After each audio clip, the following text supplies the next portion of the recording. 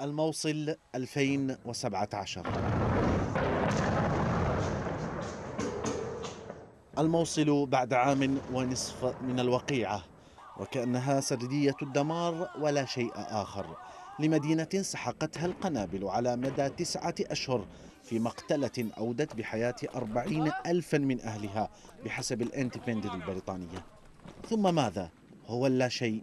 تريليون دينار ويزيد.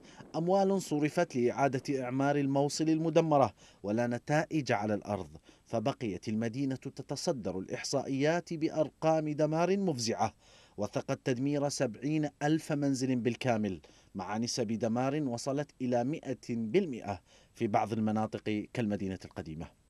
مليونات طلب للتعويض قدمها المنكوبون من أهل الموصل لكن السلطات الحكومية لم تنظر بأي منها حتى الآن على الرغم من تسلم مجلس المحافظة منذ عام 2016 أكثر من 408 مليارات دينار.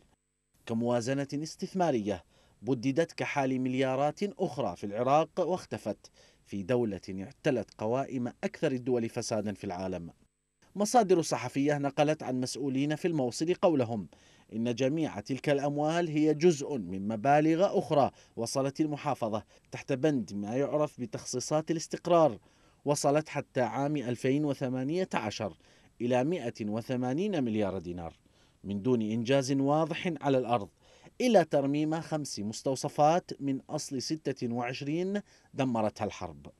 المدارس كذلك نالت نصيبها من الحرب سبعون مدرسة سويت بالأرض من أصل ألفين أكثر من نصف هذا العدد بالأقل كان في المدينة القديمة. لم ترمم منها سوى عشرين مدرسة فقط.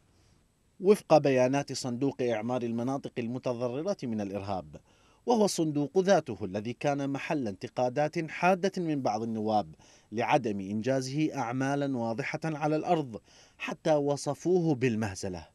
ولكن وصف المهزلة في العراق هل ينطبق على هذا الصندوق فقط؟